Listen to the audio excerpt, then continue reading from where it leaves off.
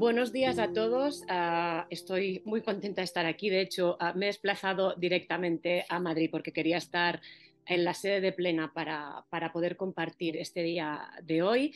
Y la verdad es que, en primer lugar, dar las gracias a todos los que estáis ahí. Evidentemente agradecida porque estáis todos ahí, uh, pero si el Test Barcelona TDI se ha podido finalizar ha sido gracias a, dos personas. La primera es uh, dar las gracias a, Plena y sobre todo a Amalia San Román. Amalia San Román por uh, su confianza y sobre todo por su gran generosidad. Estábamos en un momento que no salía, no, no, no había manera de que esto saliera y ella sin pedir, sin preguntar, dijo, vale, sí, venga, pa'lante, ¿no? Y nada cambio, y eso Amalia no tiene precio, o sea que muchísimas gracias, muchas gracias, de verdad. Bien, y la segunda persona uh, que realmente dio empaque a todo esto y que ha dado cuerpo y que ha dado el, el, el pack final, uh, que me ha ayudado con todo el tema bueno, de, de, que las cosas sean mucho más meticulosas es Jordi Peña Casanova. ¿no? Entonces, hoy el doctor Peña no, no ha podido estar aquí con nosotros, pero sí que os envía un, un breve vídeo. Por diversos motivos de tipo personal y familiar no puedo estar con ustedes, pero quiero enviarles un gran saludo. Un gran saludo a plena inclusión con el reconocimiento de su importante actividad social y científica. Y quiero en especial agradecer el papel de Amalia San Román en relación con el proyecto que hoy se presenta aquí. Obviamente también un reconocimiento al Gobierno de España que a través de su Ministerio de Derechos Sociales y Agenda 2030 ha contribuido en todo este desarrollo. El alma del proyecto, Susana Esteba, les va a explicar qué es el test Barcelona para personas con trastorno del desarrollo intelectual. Como verán, sigue el modelo del test Barcelona, pero se adapta a las necesidades específicas de estas personas. Además, el test Barcelona para personas con trastorno del desarrollo intelectual va unido a una estación de trabajo que permite eh, obtener puntuaciones, obtener gráficas, realizar comparaciones, seguimientos, etcétera, etcétera. Esto representa un hito en el proceso en el que la neuropsicología debe ocupar realmente un papel capital en el trastorno del desarrollo intelectual. Sé que en plena inclusión realmente se está trabajando en este ámbito de forma excelente y espero poder seguir colaborando con ustedes. Muchos saludos, repito. Entonces, uh, con todo el equipo y con toda la gente que hay detrás, lo que os venimos a presentar hoy es esto, que es el test Barcelona para personas con discapacidad intelectual, que ahora vamos a ir uh, desengranando poco a poco. Bien, la verdad es que me, ha costado bastante poder, poder realizar esta webinar, porque era por una parte, los que no conocéis el test, poder explicaros uh, qué es el test TDI y cómo empezamos desde valorar hasta um, comentar los perfiles y combinar esto con los que ya tenéis el test, que me, consta que sois unos cuantos, y poder de alguna manera ayudaros a que entendáis mejor la relación entre el manual, el componente del protocolo, etcétera, ¿vale? Entonces, espero, que pueda uh, conseguir transmitiros estas ideas y Simplemente, el esquema va a ser el siguiente. Vamos a hacer una breve introducción y luego ya hablaremos de los elementos que necesitáis a la hora de administrar el test Barcelona TDI, que sería la parte del manual, que sería el uh, protocolo con las hojas de respuestas del paciente y luego la corrección online, que te permitirá hacer los perfiles cognitivos que vamos a ir viendo poco a poco. Uh, cuando hace más de 20 años empezamos todo esto con, uh, mi queridísimo Ramón Nubell, uh, éramos un poco los frikis, ¿no? Porque realmente veíamos que, sobre todo en, personas con discapacidad intelectual, con trastornos de conducta, con comorbilidad, con patología psiquiátrica y con otros trastornos del neurodesarrollo, nos faltaba un, un puzzle, nos faltaba la pieza del puzzle, ¿no? ¿Cómo íbamos a hacer perfiles cómo íbamos a hacer planes de intervención sin tener perfiles cognitivos y sin saber cómo realizar los aprendizajes, si esa persona aprende mejor por verbal, por visual, por táctil, si puede inhibir, si no puede inhibir, si tiene flexibilidad mental, si no la tiene y por eso no puede realizar las transiciones. y afortunadamente estas primeras ideas nos han ido acompañando con la evolución de los DSMs. ¿no? Empezamos ya con el DSM-4, que si os acordáis nos decía, a ver, los psicólogos, lo que tenéis que hacer para ver si una persona tiene discapacidad intelectual es pasar un CI, y si este CI es por debajo de 70, esto afecta a las habilidades adaptativas con los distintos dominios, evidentemente, y es antes de los 18 años, esto se supone que es una discapacidad intelectual. Por primera vez, cuando entra el DSM-5, nos cambia, nos empieza a decir, esperad, esperad, cuidado, empezad a valorar razonamiento, función ejecutiva, resolución de problemas, función ejecutiva, abstracción, función ejecutiva. Es decir, el mismo DSM5 nos dice y prevé que esos, esas funciones ejecutivas en personas con discapacidad intelectual no han, han, estado del todo desarrolladas y por tanto nos dice, cuidado, mirad esto, pero mirad también las memorias, cosa que nos va genial es porque, porque cuando tenemos un trastorno de conducta vamos a mirar ejecutivas y memorias. Y el DSM5 ya nos venía de coña para todo. Pero es que llega ahora el DSM5TR y fijaros que nos dice.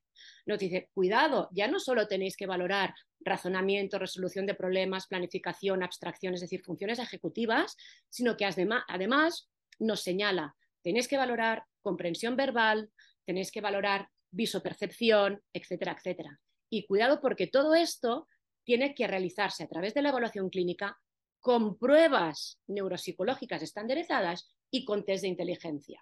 ¿vale? Y ahí es cuando por primera vez señala la importancia, fijaros, y esto es textual, de los perfiles cognitivos individuales basados en pruebas neuropsicológicas como herramientas mucho más útiles para comprender las capacidades intelectuales, ¿no? que no una única puntuación de un CI. Y además, estos instrumentos deben estar normalizados en el entorno sociocultural y en la lengua de cada una de las personas.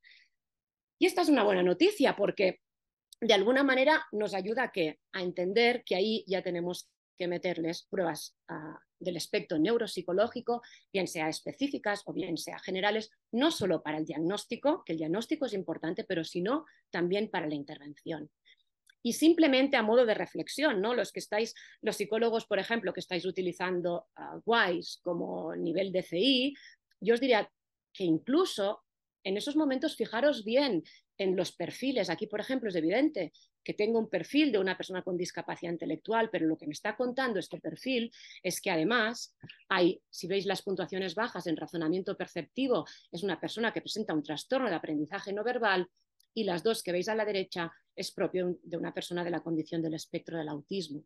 ¿vale? Por tanto, es cierto que hay una discapacidad, pero el mismo perfil lo que te está enseñando es vigila, vigila con el tema de las comorbilidades. Porque no es para nada raro que ya que el trastorno del desarrollo intelectual está dentro del capítulo de los trastornos del desarrollo neurológico, que encontremos una persona con TDI que además tiene una comorbilidad con la condición de persona del espectro del autismo, que además puede tener un TDAH, que es, un chico que además presenta trastorno motor por tics y, ¿por qué no?, puede presentar un trastorno específico del aprendizaje, ¿no? en forma de dificultades en la lectura. Que luego veréis un caso y nos discutiremos si el hecho de que tenga discapacidad puede tener o no lo que antes llamábamos dislexia. Pero vosotros sabéis que no es raro encontrar una persona con TDI de la condición autista y TDAH. No es para nada raro. Y por eso va a ser importante el perfil para el diagnóstico, para poder apoyar y dar, y, dar, ¿no? y dar esos informes a los psiquiatras para, para que tengan mayor información de todo el tema de, los, de hacia dónde pueden, pueden enfocar su intervención farmacológica, pero también a los psicólogos y al personal de apoyo mm, directo para ver por dónde entrar, porque a lo mejor hay una capacidad cognitiva que está totalmente mermada y ahí no voy a poder entrar y por tanto tengo que entrar por lo preservado.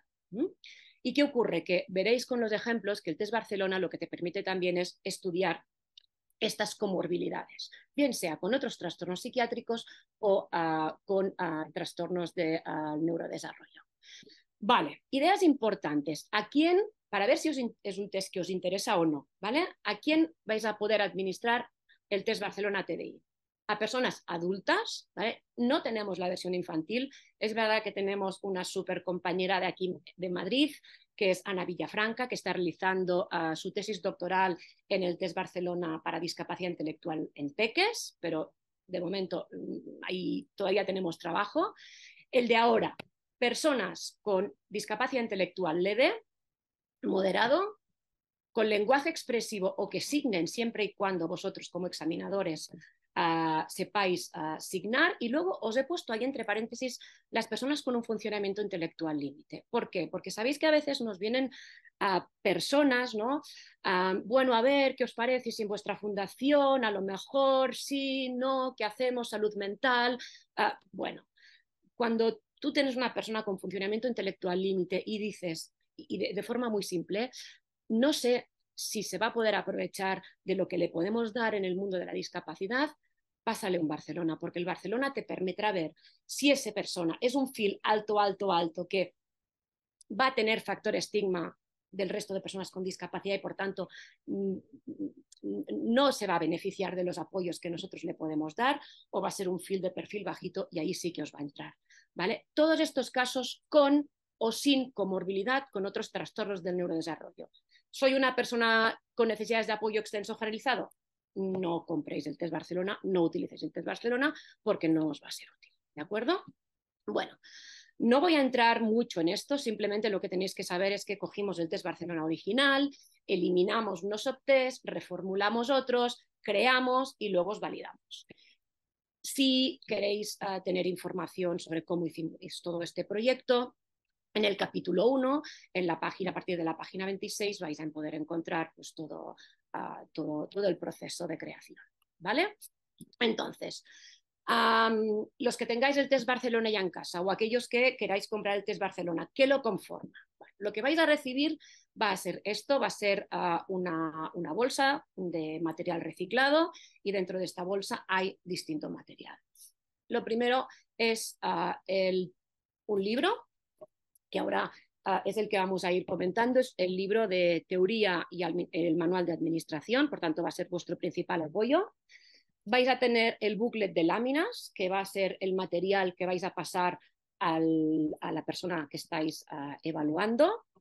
Vais a tener lo que veis a la izquierda, que es el protocolo, va a ser ah, vuestra hoja de respuestas. Ah, está formada por 30 hojas. El test Barcelona ah, veremos que es un test largo. Luego ya os voy a explicar que no hace falta pasar todo el test Barcelona, sino que podéis pasar distintos módulos. Y a la derecha tenéis las hojas de anotación del paciente. El paciente va a tener que anotar y esta va a ser su pack de hojas. Vamos a tener también unos cubos reciclados, que son estos. De hecho, está hecho de mazorcas recicladas. Ah, y nos va a ser útil para todo lo que va a ser ah, la tridimensionalidad, lo visoperceptivo, lo visoconstructivo. Y por último tenéis la Workstation. La Workstation ya os voy a explicar que es una plataforma de corrección online que es donde vais a entrar todas las puntuaciones y os va a crear directamente todos los perfiles en función del grupo normativo de esa persona.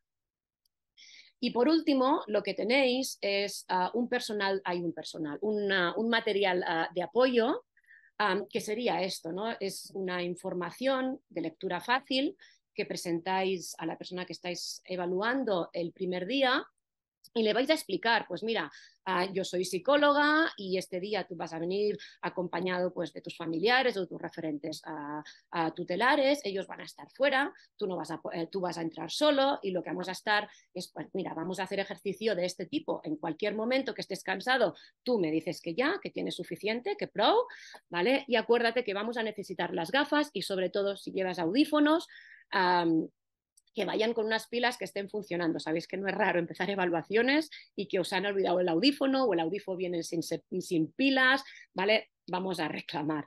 Y al final le explicas qué vamos a hacer con todo esto. Bueno, al final de esto vamos, vamos a hacer unos perfiles, que es esto que ves en los dibujitos, y vamos a hacer un informe. Y te pedimos permiso para si este informe lo podemos facilitar a tu personal de apoyo.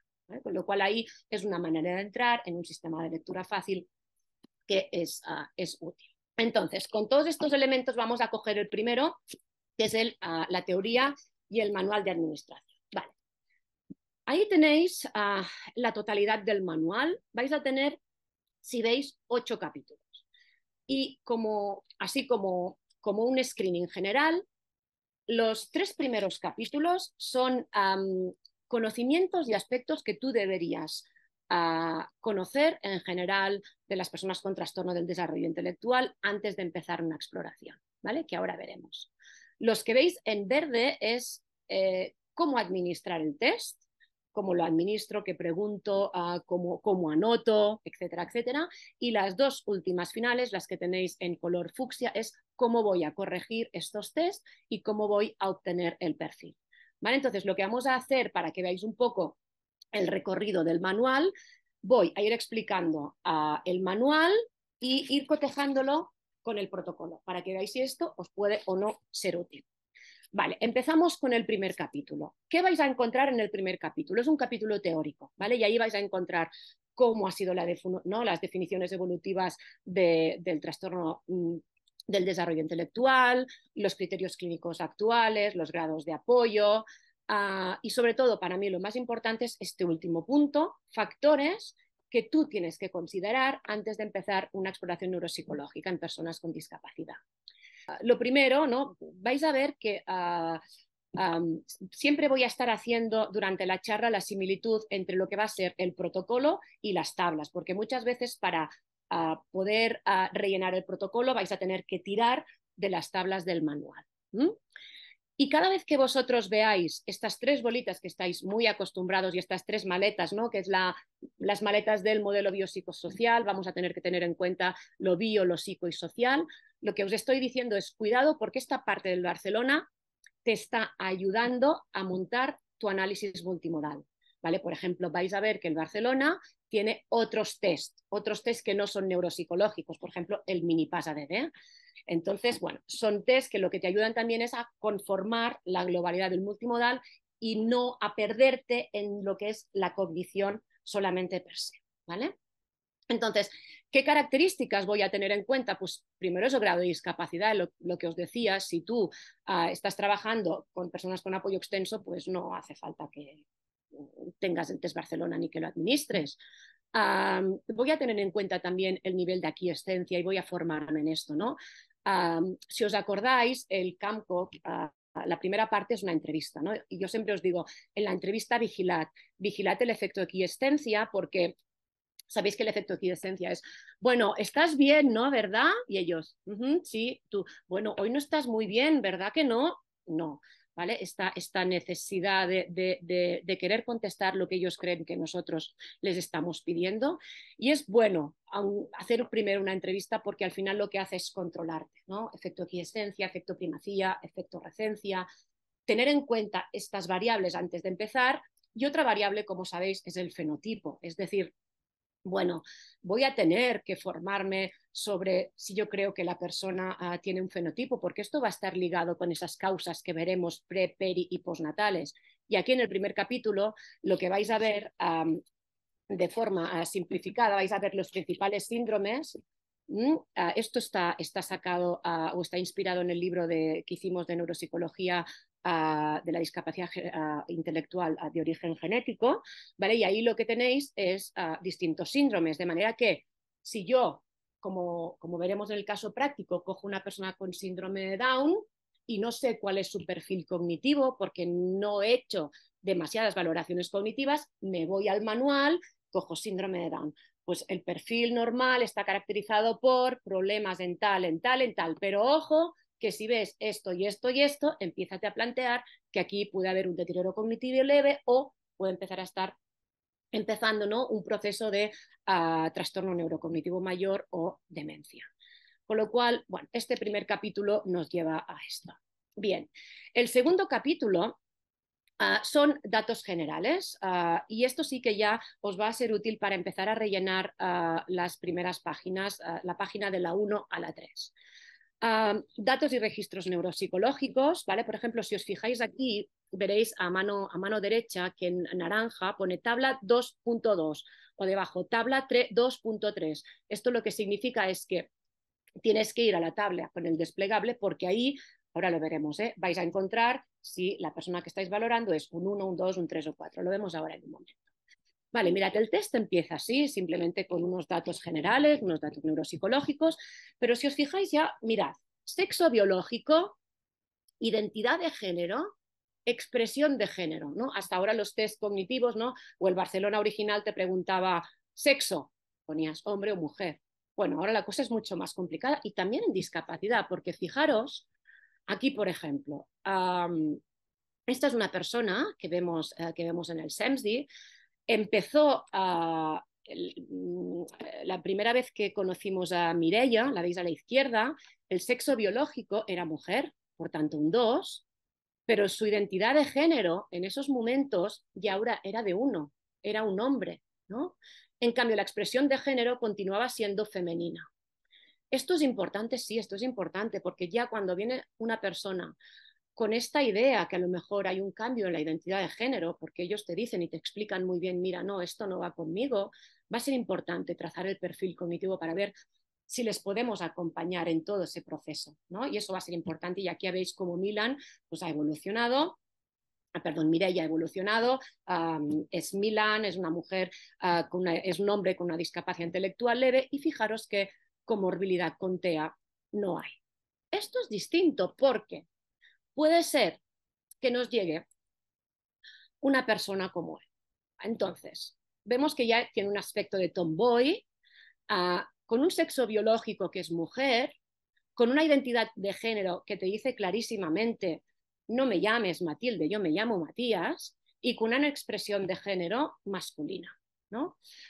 Uh, estamos hablando también de una discapacidad leve, pero ya cuando entra cómo te comunica, cómo te mira, su aspecto tomboy, los niveles de ansiedad, el tipo de interés restringido, ahí ya voy a poner que estoy sospechando que pueda haber una comorbilidad con una persona de la condición del espectro de autismo. Y por tanto ahí mi perfil cognitivo también me va a dar información de cómo debemos afrontar ese tránsito con esa persona. Vais a encontrar también ah, aquí ah, la escolaridad. Y esto va a ser muy importante. ¿Por qué? Porque al final va a ser una de las variables con las que vais a tener que realizar los datos normativos. ¿no? Por ejemplo, en este caso, si pongo un 2, lo que voy a saber es que es una persona que me reconoce las letras, que no lee ni escribe de forma fluida o que tiene una lectura muy global, que no existe capacidad de cálculo, pero sí te conoce los números del 1 al 10. ¿vale? Por tanto, ahí metes ese nivel de escolaridad. Vais a tener lo mismo con los recursos laborales y dentro de este primer pack vais a encontrar también un par de test de lateralidad para saber si es diestro, zurdo, ambidiestro, etcétera, etcétera, que también os va a ser importante pensando, por ejemplo, en, procesos de inserción laboral.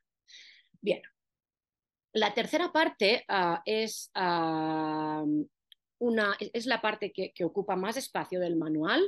Y ahí tenéis el número de páginas, no, no veo de qué número a qué número están, Ah, pero es lo que realmente necesitáis para, para poder completar estas primeras partes del protocolo. Bien, lo primero que es, si tú pasas un test Barcelona, tú pasas un test Barcelona por algún motivo. Hay un motivo de consulta. Entonces, teniendo el motivo de consulta claro, va a ser importante ver qué es lo que tienes que buscar. Y ahí os he puesto algunos ejemplos para que podamos ver. El primer motivo de consulta puede ser que, ah, lo, que, lo, que, lo, que me, lo, que, me, piden es establecer ah, un perfil cognitivo general. ¿En qué casos me puede interesar establecer un perfil cognitivo general? Pues mira, en este caso, en el que yo tengo un chico que está saliendo de formación y no tengo claro si es un chico que se puede ah, aprovechar de un trabajo en una inserción laboral con los apoyos que toquen o de una persona que va a estar mejor por su cognición en un centro especial de empleo. Entonces, en estos casos, por ejemplo, me puede interesar establecer un perfil cognitivo. Este sería un ejemplo. ¿vale? Puedo tener otros casos en lo que yo tenga un chico con trastorno de conducta ah, y lo que quiero realmente es establecer un perfil cognitivo porque quiero realizar una intervención conductual.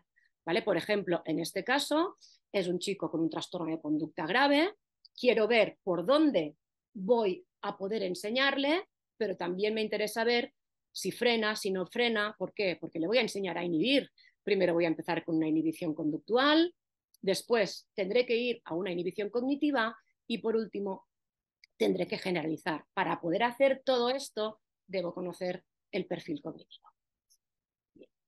Puede ocurrir que el psiquiatra derive el caso y ah, porque ahí hay cosas que no acaban de, mm, de ver claras y pueden pensar que ahí puede haber un trastorno del neurodesarrollo, ah, como es por ejemplo este caso. Cuéntame un poco de estos pensamientos. Pues que me hicieron un jardinero cosas, se me quedó la cabeza como cuánto faltan tus padres, ¿Cuánto qué? cuánto faltan tus padres, que imagínate que tiene un accidente, que ahora tu sea grande, Ujú, y a mí todo eso se me ha quedado en la cabeza. Muchas más cosas que no quiero ni, ni, ni volver a pensar otra vez. ¿Y, y, tú- y estos pensamientos se quedan en bucle ahí? Sí, pero es cuando trabajo. Ahora no. Es cuando trabajo. Cuando hago algo. Cuando vas a trabajar. Sí. Y por ejemplo, si estás en casa, No. nada. No nada. Vale, quedaros un poco con este chico porque va a ser un chico que vamos a ir viendo en, distintos, en distintas pruebas cognitivas. ¿vale? Este podría ser un chico derivado por el psiquiatra am, por sospecha de comorbilidad y, y- y- y no acaba de quedar claro. ¿Cuál puede ser el otro motivo de consulta?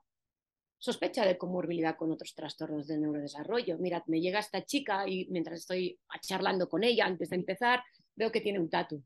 Digo, "Uf, qué, cómo mola, qué, qué original, ¿no? Dice, sí, dice, mira, y me sale su WhatsApp y me enseña esto. Digo, ah, ah, ¿te lo has copiado? Dice, ¿no sabes de quién es? Digo, pues no, no tengo ni idea. Ah, me dices de Katy Perry. Digo, ah, eh, pero veo que hay un 21. Sí, claro, eh, es que es el mío, es que es el día en que la conocí. A ver, tú conociste a Katy Perry, digo, "What? cuéntame un poco más. Dices, ¿tú sabes? Y me enseña otra foto de su WhatsApp, que Katy Perry salió a la calle con un pijama de pizza. Pues mira, no, pues no lo sabía. Pues yo me compré uno. Digo, ah, y me enseña las fotos. Y en las fotos que veo, veo a esta chica que es Emma, no solo con el pijama de pizza, sino que está con Katy Perry, ¿no? Bueno, y no solo está con Katy Perry, sino que tiene todos los vinilos de Katy Perry, ah, todos, y yo os puedo decir que tengo un vídeo ah, de Katy Perry en un concierto en Barcelona, ah, abajo está Emma, y mientras Katy Perry está, le hace así, y Emma, ¡ah! No solo esto, sino que como Katy Perry hace un vídeo en Budapest, ¿hacia dónde se va ella? Hacia Budapest. Bueno, entonces esto ya a uno mm, le empiezan a tambalear cosas, ¿no? Y me dice, bueno, pero ahora ya no me gusta. Digo, ah, entonces, ¿ahora quién te gusta? Me dice, Lady Gaga. Claro, pues hemos cambiado los status y hemos pasado de Katy Perry a, quién? a Lady Gaga. Y cuando se nos termina Lady Gaga, ¿a quién paso? Pues me voy a las del Barça, a, a la Mapi, a, la Alexia, y ellas son su crunch pero su crush, su crush, que me, me, me, está modernizando mogollón. Pero es que si os digo quién es ahora su crush actual, os vais a partir, porque aquí tenemos a su crush actual, Ayuso. Pero no solo eso, sino que con quién va a hacerse fotos ya que con Ayuso, ¿no? Bueno, ahí esos intereses tan restringidos, con esa, eh, de esa intensidad, ahí ya nos está indicando que probablemente mi perfil cognitivo va a ser uh, y voy a tener que buscar el de una mujer uh, del espectro del autismo. Otro motivo de consulta puede ser el que quiero una terapia cognitiva específica. Uh, estoy haciendo una exploración porque me dicen que hay una persona que tiene una apraxia y lo que voy a hacer es estudiar ese perfil cognitivo porque directamente voy a ver cómo puedo mejorar ese componente apráxico. Mirad, por ejemplo, este chico. Mirad al principio cómo utiliza el cuchillo y el tenedor. Está totalmente apráxico. Va a necesitar de los apoyos del personal de atención directa, porque si no, ahí no puede. Fijaros ya cuando empezamos con la intervención, cómo va mejorando durante ya las primeras semanas. Y fijaros ya al final del proceso de intervención, como ya le hemos dotado de libertad y que ya no va a precisar apoyos para realizar este componente. ¿Mm? Esto sería cuando mi perfil cognitivo va muy específico. Otras veces tú quieres, puedes hacer una terapia cognitiva específica, uh, cognitiva en general, con programas que ya sabéis que existen y que nos están dando mucha, mucha caña por, porque funcionan, como el Neuronap o el GNPT. ¿Qué nos puede ocurrir? Puede ocurrir que tengamos casos con trastornos de conducta y con patología mental muy graves, como esta persona que se arranca directamente las falanges. Y ahí lo que me va a interesar es un programa de intervención neuropsicológica mucho más amplio. No puedo equivocarme, no tengo demasiado tiempo para ensayo, error, porque esta persona se está quedando sin falanges y ahí me interesa realizar un buen protocolo. Y por último, ¿qué más tenemos? Tenemos sospechas de deterioro cognitivo, ¿no? Yo sé pues que determinados fenotipos, una esclerosis tuberosa, personas con PC, síndrome de Down, voy a tener que realizar ah, evaluaciones periódicas por esa posibilidad de deterioro cognitivo. Por tanto, ah, en función del motivo de consulta, pues voy a tirar para un sitio o voy a tirar para el otro. el Barcelona en la segunda parte te va a pedir sobre ah, las causas, la teología de la discapacidad, poniendo ejemplos. Si sabes la causa, bien, la mayoría de las veces todavía no la sabemos, vamos a saber, no sabemos, pero te va a, estar, te va a estar dando en el protocolo todo el rato pistas para que no se te escape. ¿Vale? Por ejemplo, ah, sabéis que generalmente muchas veces hacemos toda la historia clínica, ahí ya la tenéis como, como todo muy, sistematizado y simplemente tienes que hacer clic, clic, clic, clic, clic, clic, clic.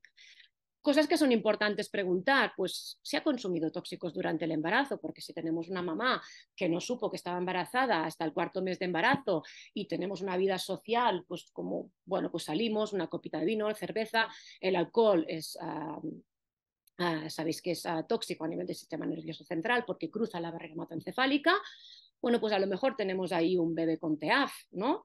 Ah, o si esa persona, la mamá nos dice, no, no, es que yo soy epiléptica, me disminuyeron la dosis de depaquine, pero continué tomando depaquine, a lo mejor ese niño lo que tiene es una fetopatía por valproato.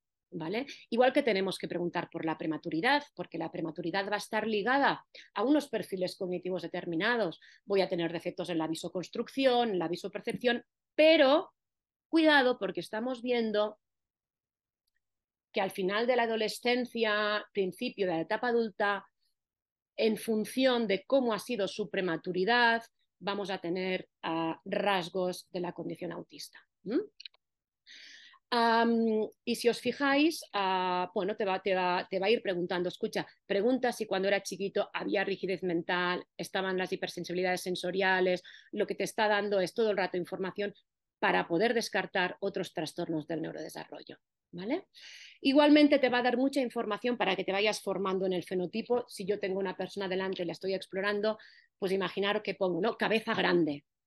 Yo no sé cómo se llama cabeza grande, pero después cuando termine la exploración me voy al manual y tenéis mogollón de tablas donde podéis encontrar la descripción de los fenotipos. Y veo que cabeza grande es macrocefalia. Ah, ok, pues venga, tiene un fenotipo caracterizado por macrocefalia. ¿Vale? Entonces, esta es más o menos ah, la idea de ah, este ah, capítulo.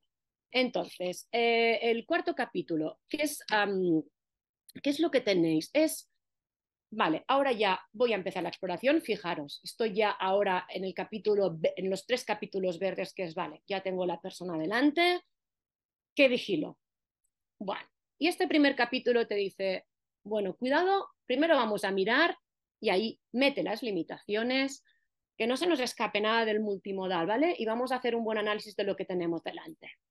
Y ahí Si os fijáis en lo que está ahora en naranja, probablemente los, todos aquellos de vosotros que estéis trabajando con personas con PC estáis acostumbrados a estas escalas. Estas escalas las hemos de alguna manera robado de los compañeros que están trabajando en el mundo de parálisis, porque fijaros, ¿no?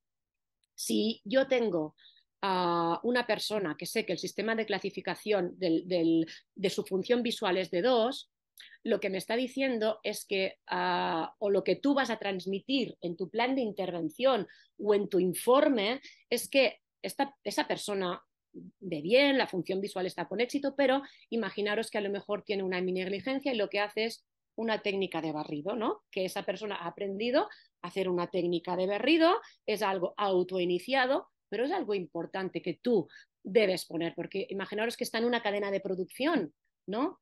Si tú no has valorado que cada vez que pasa en la cadena de producción el producto, esa persona probablemente la vamos a tener fatal y al cabo de dos días va a tener trastornos de conducta, ¿vale? Y así con cada una, ¿no? Tenéis la clasificación de la función visual, tenéis la función motora gruesa, tenéis a la MAX, que es cómo manipula, y tenéis la función de comunicación. ¿Vale? Entonces, cada una de estas escalas las tenéis desplegadas también en el test Barcelona. Al igual que vais a tener otras escalas como el mini PASA D para valorar psicopatología o tenéis otras escalas de efectos extrapiramidales de ciertas conductas que podéis estar viendo durante la exploración y que pueden ser secundarios a determinados fármacos. Por tanto, este capítulo te ayuda a, clasificar un poco, ¿sí? Bien.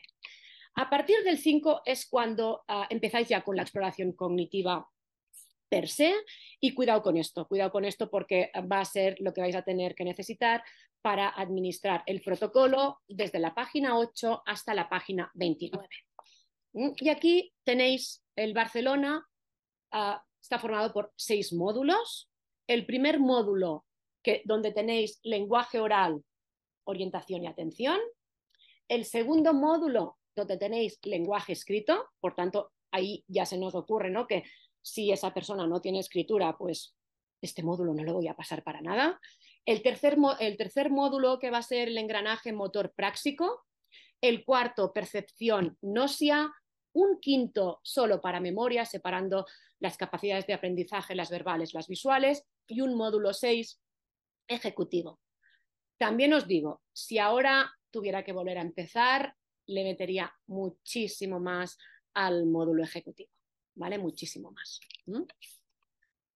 Bien, aquí tenéis un ejemplo de lo que podríais encontrar en el primer módulo de lenguaje oral. no vamos a entrar en ello, tenéis los ítems, los rangos, etcétera, etcétera. ¿Vale? Bien. Ah, mirad, por ejemplo, aquí, ¿no?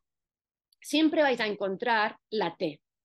Y la T es tiempo. Mirad, aquí tenemos lectura, verbalización de números, lectura, verbalización de números con tiempo lectura de, de, pseudopalabras, es decir, logátomos, palabras que no existen, logátomos con tiempo. Lectura de palabras, palabras con tiempo. ¿Eso es importante? Sí. Va a ser importante siempre tener en cuenta la caída en los tiempos, porque la caída en los tiempos te va a estar indicando mucha semiología y tienes que tenerla en cuenta, como veremos ahora con unos cuantos ejemplos. Mirad, si cogemos, por ejemplo, este mismo módulo, el de lectura, tú lo que vas a tener en tu protocolo es esto. Entonces, si os fijáis, en la izquierda, aquí, ¿no? Ah, eh, la persona te va a tener que leer 7, 9, 6, 12, y, y en las palabras, vida, verdad, ciencia, ¿dónde voy a encontrar esas cosas? ¿Dónde voy a encontrar esos números? ¿Dónde voy a encontrar esas palabras?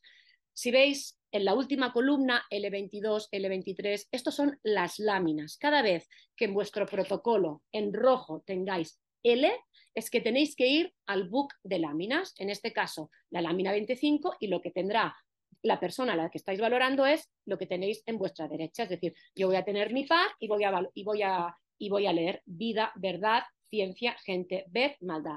Y tú vas a ir mostrando en tu protocolo si lo hace bien y cuánto tiempo tarda. Lo mismo, esto es comprensión lectora, pues ¿qué me dice? Que está en la lámina 26, cojo y va la lámina 26. Las láminas son correlativas, ¿eh? con lo cual es ir pasando páginas y no mucho más, no tiene más secreto. Bien, vamos por ejemplo ahora a ver ah, un ejemplo, una semiología en escritura. Bueno, aquí tengo una mujer ah, que hago, estoy haciendo escritura al dictado, fijaros primero los números, está correcto, 8453 1383 104, ¿vale? Lo que veis es, está, realiza bien, el 8 está bien, lo único que está muy enlentecida, tarda más de 11 segundos, por tanto, ahí lo meto, ¿sí? Y a partir de aquí todo es cero, todo es cero, ¿lo veis? Bueno, ¿qué voy a hacer con esto? Lo que voy a hacer es pasarlo ya, os explicaré cómo, y voy a tener mi gráfica. Y ahora quiero que os fijéis, simplemente os voy a pasar tres gráficas muy, muy rápidas. Fijaros solo en esto, ¿vale? Esta es la primera, esta es la segunda y esta es la tercera. ¿Habéis visto que cambian? Vale. Esto es todo lo mismo. Son los resultados de esta señora, pero ¿qué es lo que cambia? Su grupo normativo. Por tanto, cuando yo lo meto en un grupo normativo, lo que me está cambiando es si esos resultados están bien o si esos resultados están mal. Y de los tres, la única que me va a preocupar es esta. No, no, no, voy a entrar en por qué, ¿no? Pero la única que me va a preocupar es esta. Los otros dos no hay problema, pero ahí sí hay una caída en tiempo de reacción que no me gusta y tendré que mirar más. Simplemente esta idea es para que veáis cómo, o sea, lo, que está haciendo y cómo los resultados van a ser distintos en función de cómo voy a normalizar. Bien, vamos ahora al, al caso de este chico que os he comentado. Ah, este chico habéis visto que mm, bueno, es un chico con un, que tiene un buen lenguaje, fluente, ¿no? un poco taquilálico, y le paso este mismo subtest. Ah, arriba lo que veis es ah, copia, y, lo que, y ahí estamos viendo que hay omisiones, hay mucha copia servil, hay reduplicaciones, y abajo es escritura. Os voy a leer, aquí debe poner chifumel, aquí debe poner compoles, condelos, irburrín, hornulles, y ahí tú ves que dices, ahí hay algo que no... Hay una diferencia entre su lenguaje fluente cuando me está explicando lo que le pasa en el trabajo y cuando escribe. Entonces cojo otra parte del Barcelona y le digo, mira, cuéntame, por favor, y escríbeme qué es lo que has hecho esta mañana. Y lo que haces es esto. Mm, bueno, aquí lo que pone es, me he levantado, he desayunado un zumo de piña y un croissant de mantequilla. Y ahí veremos que hay una disociación muy bestia, eh, muy bestia entre lo que va a ser un perfil cognitivo muy bueno y una escritura muy mala. Y ahí es donde nos tenemos que parar, porque fijaros, ¿no? Cuando la ponemos con el grupo normativo, ahí hay una caída espectacular que digo, se contrapone ¿no? en, el resto de perfil que es muy bueno, y ahí es cuando el test Barcelona os sirve como algo general, pero tendríamos que necesitar otros test. En este caso, cogeríamos un test como el Prolexia, da igual, y lo que al final acabas viendo en este test es que este eh, chico tiene, aparte de una discapacidad intelectual, un trastorno específico del aprendizaje con dificultades en la escritura. La otra cosa es que ya nos vamos a discutir si con el DSM ah, podemos o no podemos hacer estos diagnósticos ¿no? de comorbilidades, pero en este caso tan claro, de un chico con este nivel leve, hay tanta disociación, ahí encontramos comorbilidad. No solo esto, sino que fijaros qué es lo que pasa cuando estoy valorando funciones ejecutivas, y eso sí no lo esperaba. ¿eh? Fijaros, es un test en el que Ah, tiene, tiene, una imagen y pues mira, imagínate que ah, te has dejado la chaqueta en una de las habitaciones como si el lápiz fuera mm, como si el lápiz fuera tu, fueran tus pies, tienes que entrar en tu casa y enseñarme el camino para ver dónde estaría tu jersey, bueno, más o menos. Y mirad qué es lo que pasa.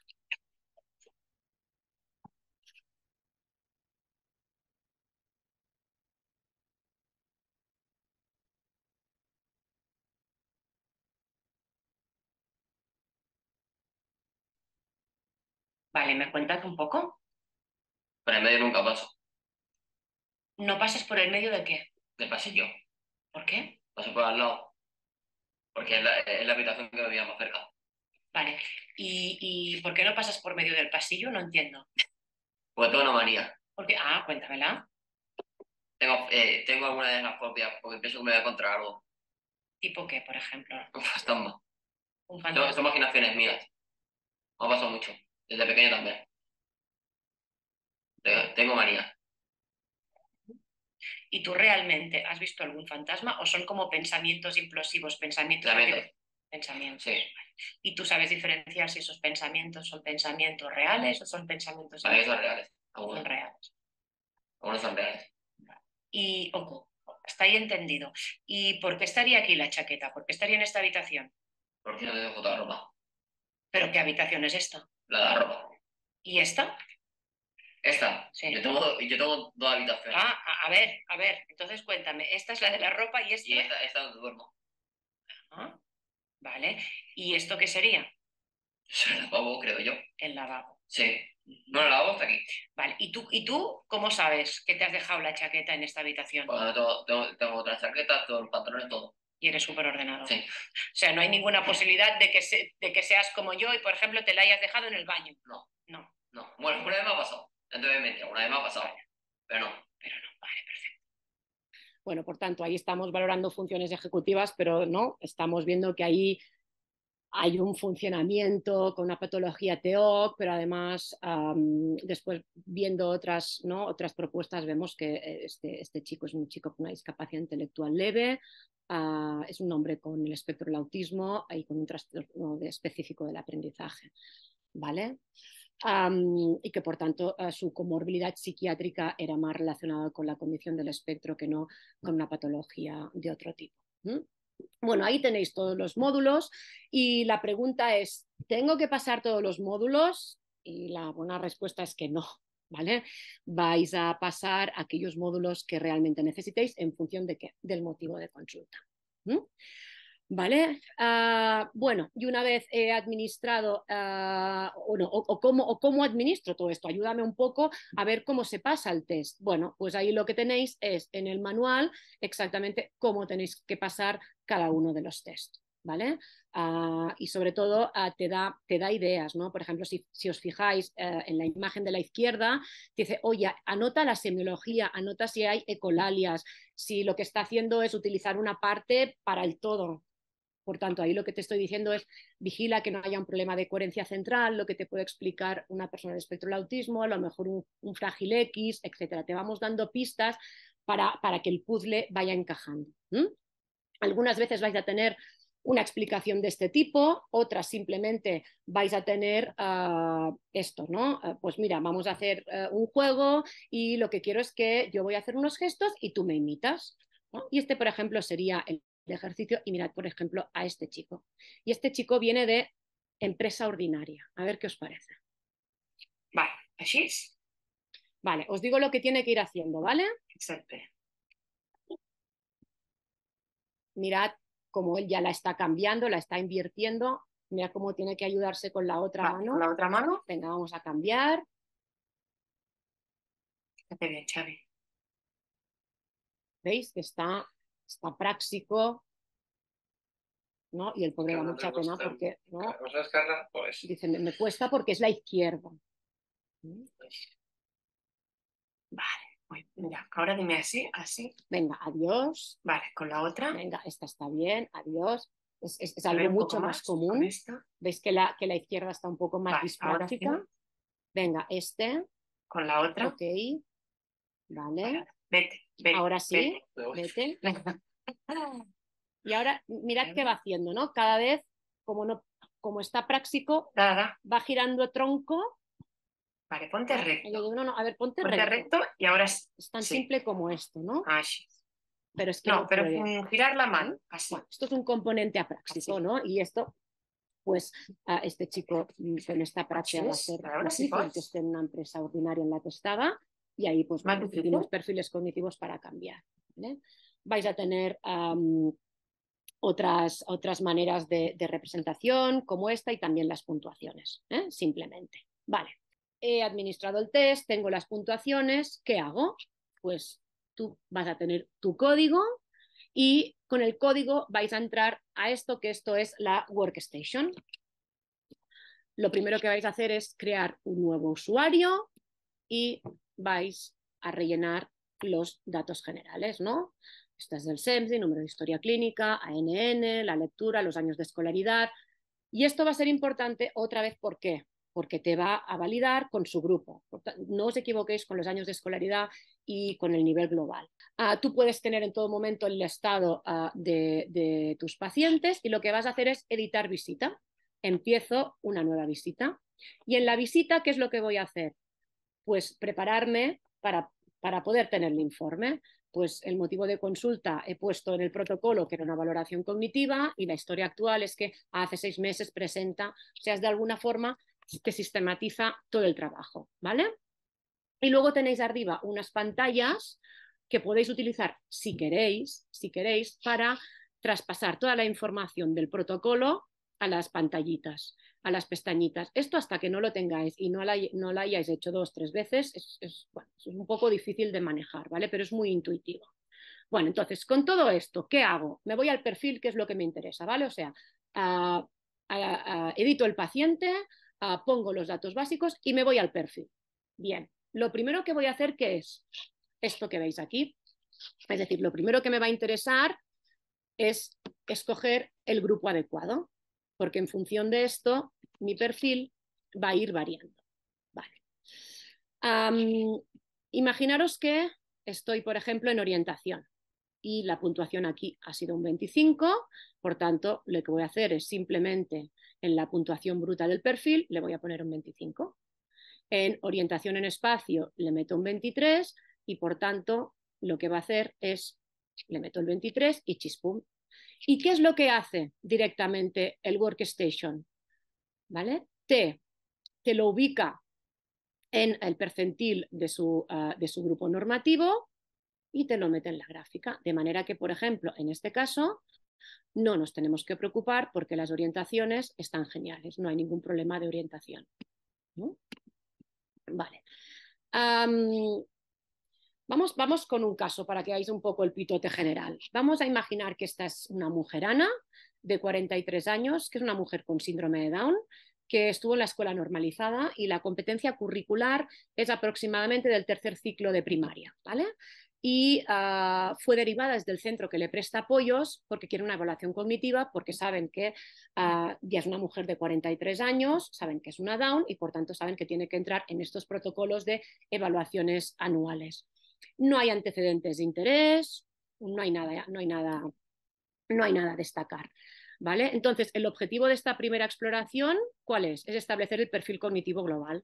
Yo voy a establecer un perfil cognitivo global, valorando en qué? pues en lo que he leído en el primer capítulo, ¿no? que me interesa valorar sobre todo memoria y ejecutivas, porque voy a saber que en estas edades es cuando esta persona puede realizar la caída.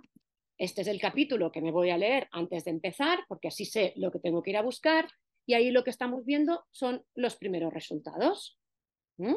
Y si nos fijamos en este primer año, ¿qué es lo que vemos? Pues vemos caídas muy acorde al fenotipo de síndrome de Down a esas edades nos van a caer los dígitos porque en comparación con la, mayor parte de los fenotipos, el down en los dígitos sale a un nivel atencional más bajito, nos van a caer los tempos, ¿por qué? Porque se hace mayor y está más alentecida y también la repetición de palabras que no existen por el trastorno articulatorio. Pero esto es propio del fenotipo, el resto está correcto, no me voy a preocupar, ¿vale? Ahí, por ejemplo, en lectura de palabras también está un poco más enlentecida, Mirad el módulo motor y de praxis, el de percepción. Perdón, no os he explicado una cosa, se me fue porque voy rápida. Vale, mirad. esto, lo verde, percentiles superiores. Muy buen resultado. Y a partir de ahí tenemos percentiles medios altos, percentiles medios bajos, percentiles bajos y percentiles muy bajos. Por tanto, a más izquierda, mayor afectación. Entonces, si volvemos otra vez para atrás, fijaros, en una persona con síndrome Down que esté muy bien orientada es muy buena señal, por tanto ahí me quedo tranquila, pero lo que os decía, cae en atención por fenotipo, cae en repetición por fenotipo y cae en tempos por fenotipo. ¿Mm? A nivel motor está genial, a nivel de percepción también está todo en percentiles medios, altos y superiores, no me preocupo de nada. Y en memorias, ¿qué, es lo que nos interesa? Pues que si vemos las memorias, todo está a partir de uno está en medio bajo, pero el resto está en medio alto y superiores. Y en ejecutivas igual, está muy bien. Por tanto, a, estos, a, esta, a esta edad y en este momento diríamos que tiene un, perfil cognitivo compatible con la etiología y con la edad. Vale.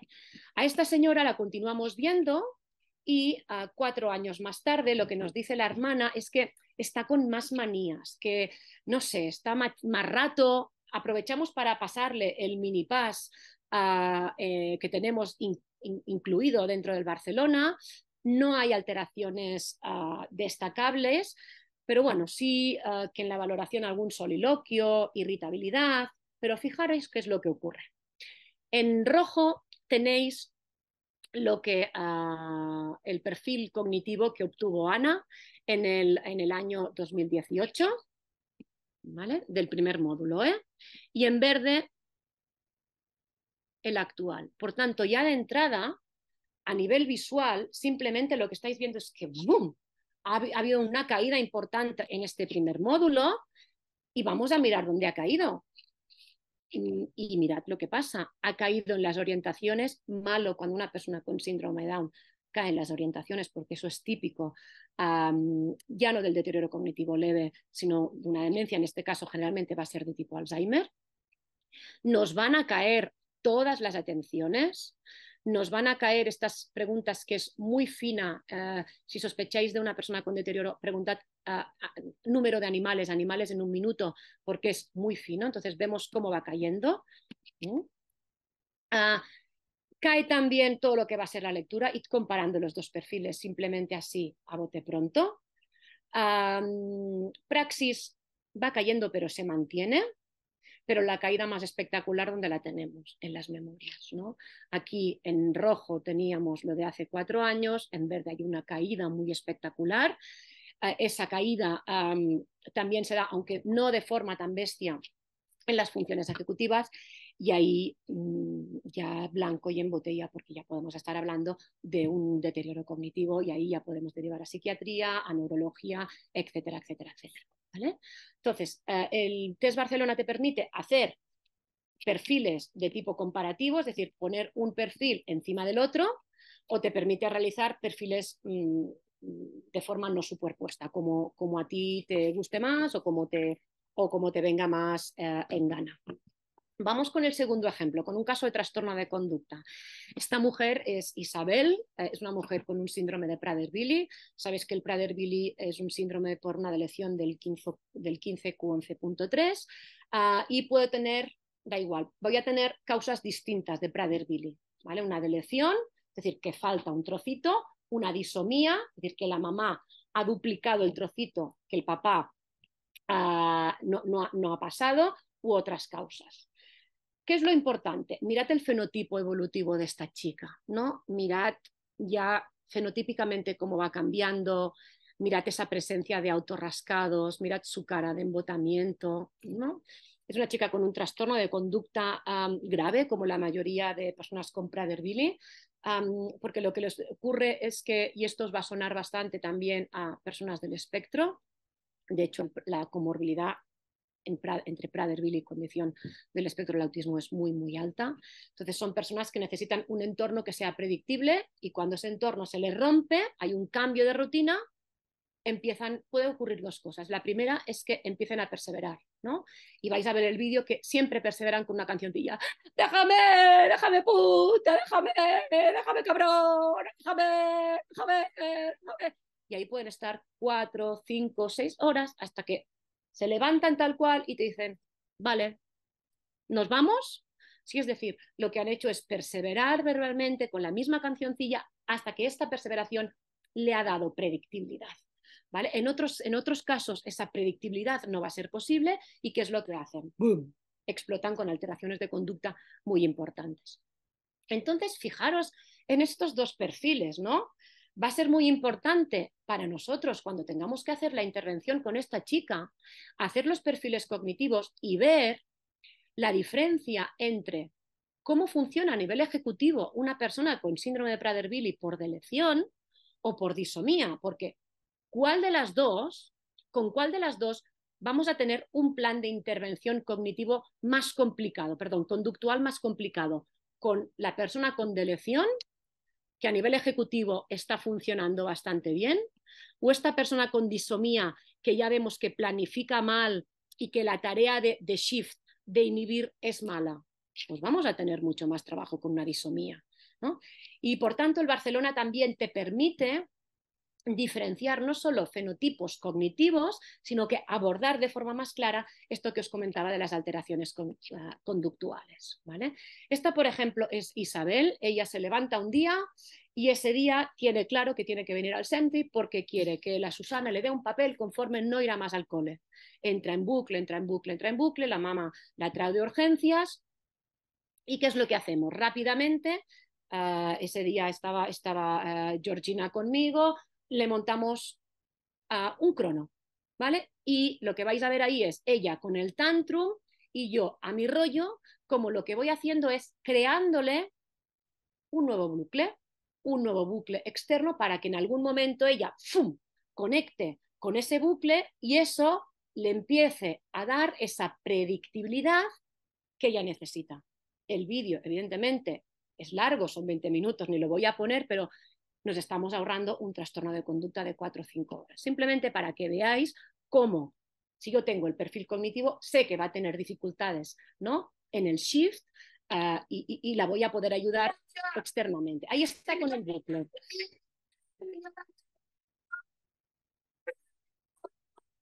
Ella está con su rollo, ¿no? Sí, mi informe, sí, y voy a ir al cole. Yo le digo, no, que estás inventando, esto no es lo que va a pasar. Mi madre me ha dicho que sí, que sí, que sí, que yo quiero, quiero. Ella en su. Y yo con el mío. Cogeremos el coche que nos llevará a casa y el lunes hablaremos a ver qué hacemos con el informe. Y hoy no tendrás informe. Ahí ya llevamos con unos 15 minutos, ¿no? Y fijaros que ahora por un momento se queda enganchada. Y otra vez, aprovecho. Cogeremos el coche y vamos a casa. Ella empieza. Ahí sigue con los bucles, pero ahí vamos continuando, vamos continuando hasta que mirad qué pasa. Vale, fijaros, estoy ahí y lo que hago es parar un momento y le digo, a ver, ¿qué teníamos que hacer? Me coger el coche. ¿Y después qué haremos? ¿Y el lunes qué haremos? El lunes qué haremos? Hablar. ¿Y quién hablaremos? Todos. No, tú y yo. ¿Y miraremos el qué? Si damos el informe. ¿Veis que ya ahí continúa con bucle, pero ya la tengo? De manera que... Otra vez. Y ahora fijaros, saldremos del despacho, cogeremos el coche, me iré a casa, hablaremos el lunes y hoy no hay informe, ¿vale? Entonces, con el perfil cognitivo he visto que esta chica tiene dificultades en la flexibilidad mental, en el shift, le voy a dar apoyos externos y voy a hacer que ese entorno sea más predictible. Y eso me lo da el perfil cognitivo. ¿Qué otras cosas voy a poder encontrar en esta chica? Ah, pues mirad, voy a poder encontrar, bueno, esta es otra chica Prader-Willi. Fijaros, fijaros, sopla. La llengua? saca la lengua. Eh, eh, eh. Ah, Ellos tienen una hipotonía, tienen la saliva muy espesa, van a tener una praxia orofonatoria, y eso va a ser importante a la hora de después hacer el y pasarlo directamente, por ejemplo, a logo para que nos pueda, ¿no? Para que mira, le pueda mira. meter caña y para que pueda, mirad, Va. no puede, ¿vale? Y esto también te lo da el, Barcelona. Llaves, aquí la caída del mira. perfil. Mm, ¿eh? En estos casos, si hay una praxia de este tipo, pues bueno, vamos a pasar a, vamos a pasar a logo, ¿vale? Entonces, bueno, en función del centro donde estáis, de estéis, del tipo de ah, personas a la que prestéis apoyos, pues el test Barcelona os puede ser útil o no os puede ser útil. Y si os es útil, pues tener muy claro cuándo lo vais a utilizar. ¿Vale? Ah, cosas que me preguntáis, que esto también es importante. Ah, la corrección ah, se compra, ¿vale? Y podéis, y podéis, porque esto hay un poco de lío, podéis comparar, tú directamente compras el test y en ese test, solo con el test discapacidad intelectual, ah, tienes 10 correcciones online gratis. O puedes comprar el de la derecha, que es compras el test y tienes acceso a cinco usuarios. Cinco usuarios es, imaginaros que soy plena Castilla-La Mancha y hay cinco psicólogos que trabajan para mí, ah, pues cada psicólogo es un usuario y cada usuario tiene ah, los chicos a los que atiende, ¿vale? Ah, no lo he explicado, pero si queréis me preguntáis si es que lo necesitáis, hay, una opción donde comprando esta, que es, el premium, tenéis acceso a todo lo que va a ser ah, el test Barcelona 2. ¿Quién lo va a necesitar? Pues los que estéis en unidades clínicas de diagnósticos, los que veáis no solo discapacidad, sino otras cosas, o los que os estéis dedicando a, investigación, ¿vale? Esa sería más o menos la idea.